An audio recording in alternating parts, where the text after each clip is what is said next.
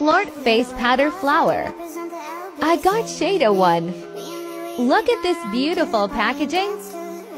This comes with a keychain you can attach on the powder. It's so pretty. Comes with a mirror.